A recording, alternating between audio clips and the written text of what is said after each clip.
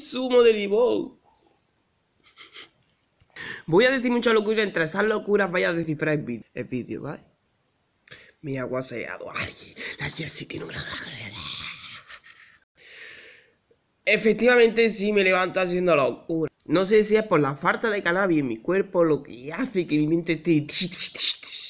Luego me fumo un par de porros y me quedo siendo una persona normal. Que dice cosas normales por la boca.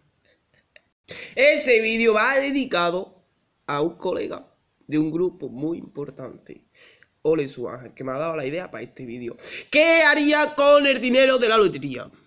Yo tengo la triste o bonita esperanza de que algún día esta mierda pues me toque, ¿sabes lo que te digo? sí, sí. Vale, pero bueno, concretamente vamos a hablar de esta, la de Navidad, la que no me ha tocado ni un puto reintegro que me creo que sí. Ojalá fueran billetes esto, ah, billetes, billetes. Pero no, no, no son billetes todo el mundo pues diría, yo me compro una casa, yo me compro un coche. Yo no digo que a lo mejor no lo haría, pero no sería lo primero que haría, ¿vale? Yo, sería, yo lo haría distinto.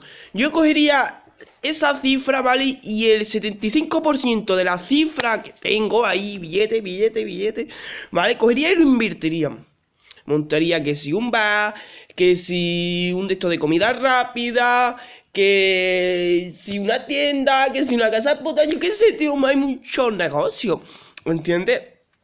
Que la cuestión es crear activo, no pasivo, la casa es un pasivo, el coche es un pasivo.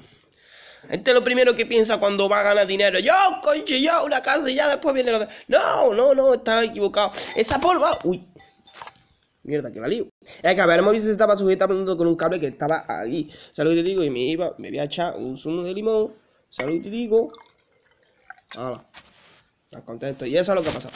Bueno, explico. Una cosa muy inteligente sería irse a otro país de esos así muy pobre con tu pasta. Sería hiper rico, loco. Porque realmente la lotería no da tanto. El mayor premio te puede dar 400.000 euros. Vale, ahora mismo habréis dicho todo. Como si no fuera dinero, 400.000 euros. Pues te lo puedes gastar, ¿eh?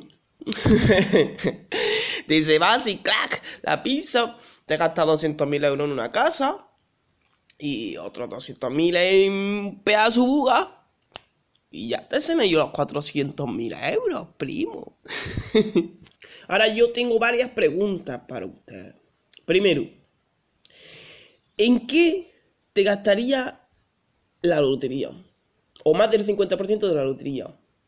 Y luego otra pregunta así para mi persona. Si os tocara la lotería, ¿qué negocio pondríais para eh, seguir generando dinero? Porque es que como, como no generas dinero, como no hagas un activo que cree dinero, mal, ¿eh? Mal. Porque empiezas a gastar, gastar, gastar, te crees que estás en ese ritmo de vida y pa, un día para otro ya no tienes nada.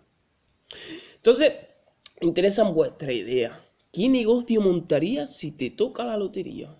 ¿O en qué te lo gastarías? ¿Eh? Me interesa. Sí, sí, sí, sí, sí. Volví a copiar la idea. En realidad me ha tocado. Nada. Ojalá. Bueno, feliz Navidad a mi gente. ¿Vale? ¿Vale?